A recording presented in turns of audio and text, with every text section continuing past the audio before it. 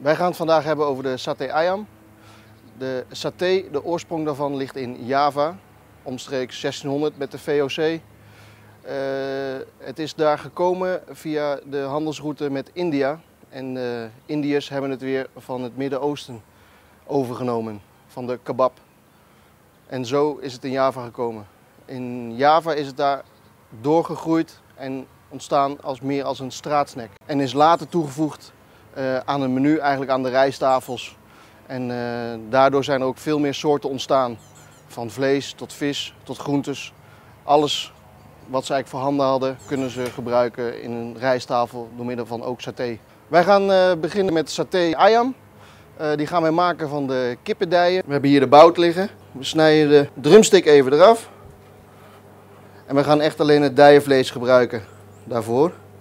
Het dijenvlees dat is allemaal wat, wat vetter en dat komt straks veel beter uit op de barbecue. Dat is allemaal veel lekkerder. Blijft wat sappiger dan de kipfilet. Zo. En dan hebben we de dijen over. Daarvan gaan wij het vel afhalen. En met dit stukje vlees gaan wij werken voor de saté ayam. We snijden het dijenvlees in kleine stukjes. Het is beter voor de marinade. Trekt er makkelijker in. En het is zo gaar op de barbecue. En het eet gewoon veel lekkerder. Als we dat vlees allemaal gedaan hebben, dan uh, gaan we de marinade maken. Er zijn heel veel uh, authentieke uh, marinades voor saté ayam. Er zijn ook heel veel verschillende van. wij gaan er vandaag eentje maken die is wat pittiger.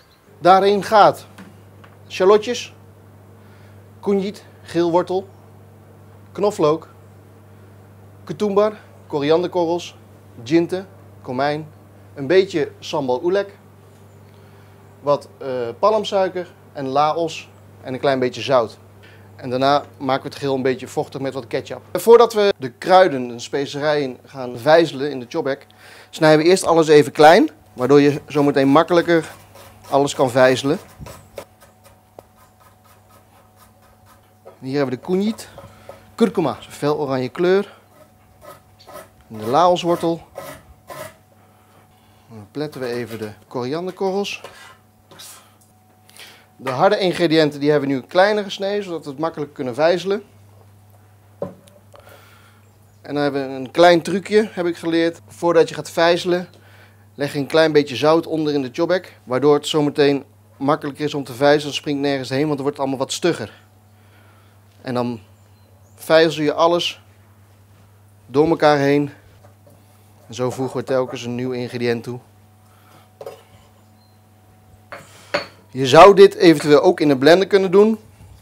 Maar dan heb ik geleerd, als je in de blender doet, dat je eerst even alle ingrediënten zachtjes aanbakt. Zodat daar meer smaak vanaf komt en dan kan je het in de blender doen. Er gaat een beetje palmsuiker bij. Vloeibare gulab jawa kan ook, maar dan wordt je marinade wel weer vloeibaarder. En dat wil je eigenlijk niet hebben. Er gaat zometeen ook nog een klein beetje ketchup bij. En de palmsuiker, de blokken zelf, die zijn wat sterker van smaak. Dan rest ons eigenlijk alleen nog maar een klein beetje sambal erin te doen en een beetje ketchup. En dat is eigenlijk naar smaak. Dit is ketchup manis gewoon. Zoete ketchup. Je kan ook zoute ketchup gebruiken, maar dan moet je het weer in de gaten houden met de marinade. Dat het weer niet te zout wordt. Hoe meer sambal, hoe pittiger het wordt natuurlijk.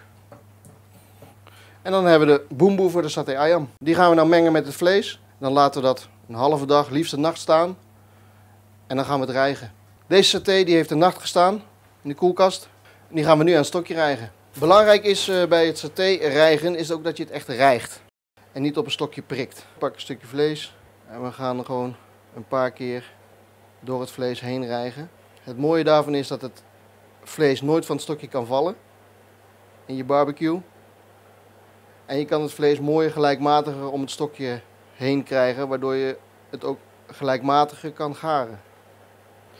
Belangrijk is ook dat je het puntje van het stokje altijd in het vlees heb zitten, zodat dat nooit kan verbranden op de barbecue. En ik persoonlijk doe nooit de stokjes uh, wellen in het water. Dat is voor ons niet nodig hier, omdat wij een, een uh, barbecue hebben waar de stokjes altijd buiten het vuur, buiten de warmtebron uh, liggen. Zodat dat, dat verbrandt gewoon niet. De saté ayam is eigenlijk al goed gemarineerd, zoals eigenlijk de, de, alle satés in Indonesië.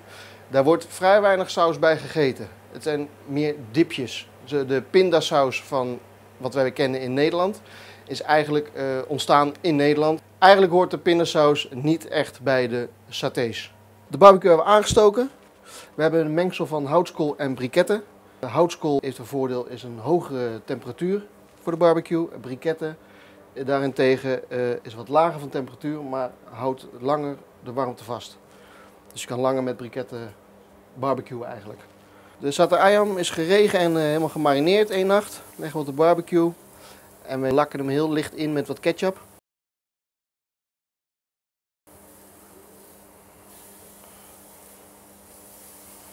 En dat hij niet blijft plakken.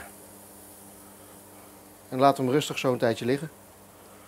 Totdat hij mooi gekleurd is. En dan draai je hem om. En dan zijn ze goed.